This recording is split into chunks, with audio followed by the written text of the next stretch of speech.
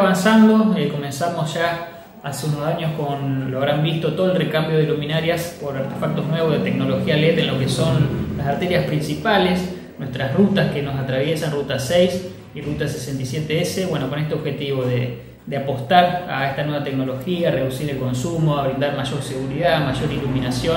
eh, sobre todo en estos ingresos, y hoy ya avanzando con lo que es la cobertura en todo el eje urbano, así que bueno, felices de poder eh, avanzar con esta obra que la verdad eh, es increíble cómo cambia en cuanto a seguridad, iluminación,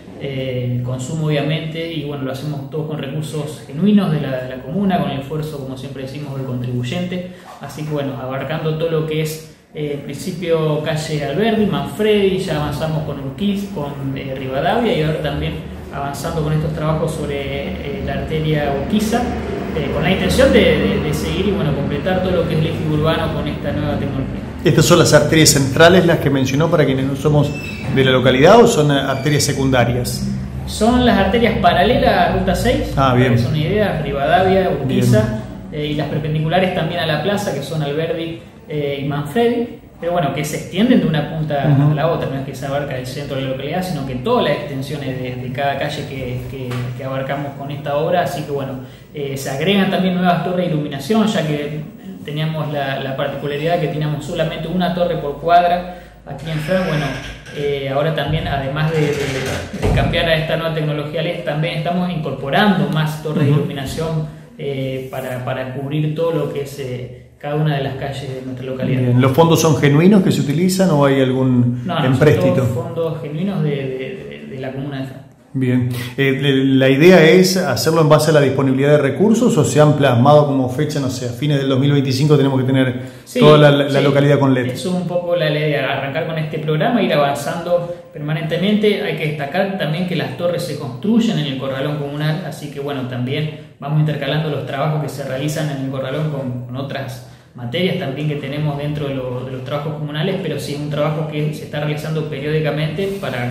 cuanto antes posible poder abarcar todo el eje urbano, destacando también siempre el trabajo intenso y, muy bueno que realiza la gente del Corralón, en este caso con la fabricación propia de todo lo que son las columnas de alumbrados. Muy bien. También hablamos de otra cuestión y esta otra cuestión está eh, referida a la Expo Carrera. Ya han tenido una experiencia exitosa el año pasado mostrando de alguna manera eh, a los chicos de las escuelas secundarias eh, ¿Cuáles son algunas de las alternativas para la continuidad de, la vida del estudiante? ¿La vuelven a realizar en este 2023? Sí, la verdad que sí, fue una propuesta grande el año pasado la verdad que salió muy bien esta primera edición de la Expo Carrera FRAC, donde en tres jornadas no solamente se abarcó las propuestas de distintos establecimientos educativos como ICES de Sunchal, ITEC, Molino, UTN, UNL, eh, que nos visitaron aquí en la localidad, eh, para ofrecer toda su propuesta de materia educativa, no solo a los establecimientos educativos Fran, sino también eh, pues hemos recibido a chicos, alumnos de San Jerónimo, de San Jerónimo del Sauce, de Las Tunas. Bueno, un poco la idea es también convertirnos como un centro regional en cuanto a la Expo Carrera. Y bueno, fueron distintas jornadas, ya que además de esto también se generaron mesas de trabajo en conjunto con representantes de, la, de los centros educativos y el sector productivo de Fran, que vemos un nicho muy importante a trabajar para sacar, eh, seguir explotando, sacarle el jugo a todo ese potencial que tiene Fran y que hoy vemos que se necesita que la educación eh, y el ámbito laboral vayan de la mano, así que hemos recibido empresarios y a, representantes de instituciones para trazar una agenda de trabajo que tienda a aprovechar todo ese recurso humano que estamos eh, teniendo en Fran, capacitarlo y poder vincularlo con el mundo laboral. Así que bueno, se viene la segunda edición, 4, 5, 6, 7 de septiembre. Eh, para lo cual ya estamos trabajando muy fuertemente desde la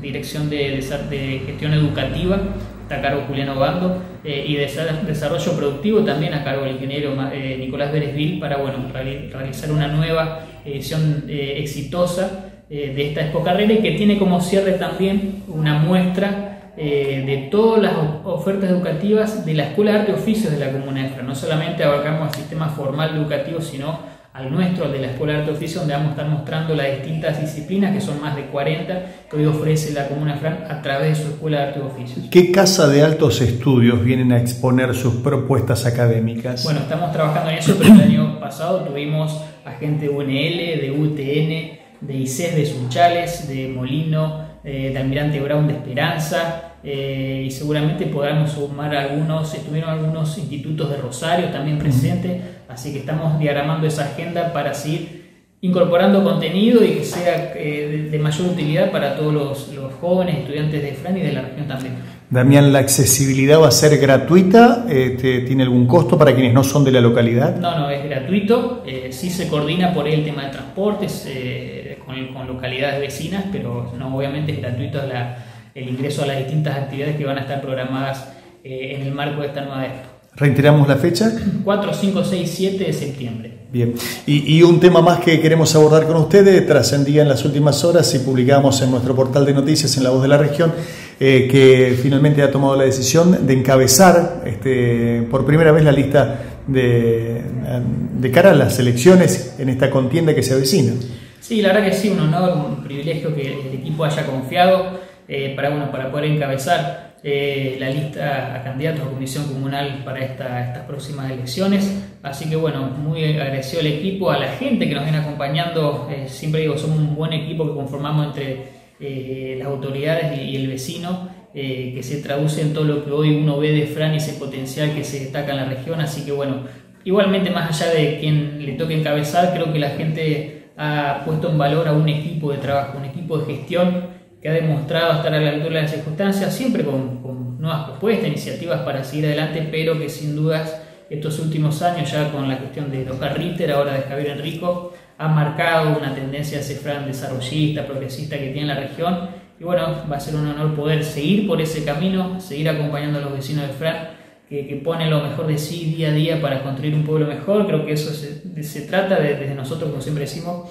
agradecidos de que nos dejen acompañar nosotros a la gente de Fran ese trabajo intensivo que hacen cada uno de lo que le toca en nuestra comunidad. Eh, así que bueno, va a ser un placer seguir trabajando como lo venimos haciendo. Ya son varios años eh, acompañando a este equipo de gestión. Bueno, ahora me toca encabezar, pero insisto en, resaltar el, equipo de gestión que se ha conformado eh, al frente de la comuna de Fran y creo que la gente va a seguir acompañándonos, apostando a, esta, a este proyecto que tenemos eh, en nuestra localidad, con siempre el fin de, como siempre decimos, nos gusta decir que las generaciones futuras se queden acá a vivir eh, en este pueblo. Y, detrás de esas pequeñas frases hay un mundo de, trabajo que, estamos llevando adelante con cada vecino de Fran. Seguramente le va a dar su impronta, pero las líneas, los lineamientos generales de, la continuidad de trabajo están asegurados en caso de ganar la elección, por supuesto. Seguramente, ese es nuestro, nuestro programa de gobierno, ya lo venimos trabajando hace años, la gente ya lo conoce, ustedes seguramente también lo han reflejado a través del MED, que tiene que ver con distintos, como decimos, caballitos de batalla que han destacado la localidad con lo que tiene que ver con obras de infraestructura,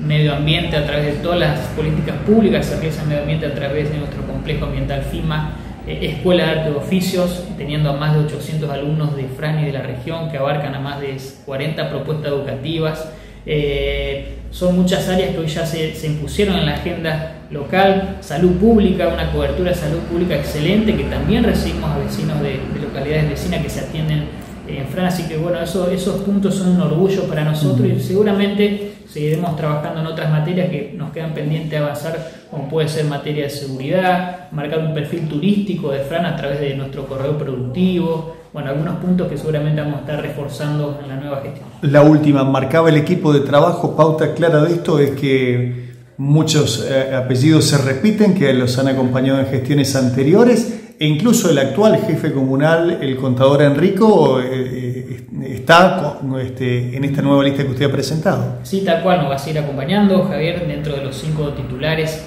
de la comisión comunal, renovando algunas caras dentro de la lista de 16 miembros que, conforman esta lista comunal que uno presenta para, para elecciones, pero siempre tratando de no como puede suceder, de, completar lista por completarla, sino de ir formando cuadros técnicos, políticos que le den eh, una proyección a, la gestión de gobierno. Siempre tenemos que pensar de trabajar en mediano largo plazo, así que para eso hace falta gente capacitada con nuevos perfiles en lo técnico y en lo político para que le, como te decía, proyección a este programa de gobierno que tenemos.